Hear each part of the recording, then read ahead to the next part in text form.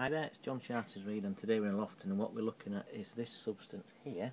If we just go like that, there you go, look.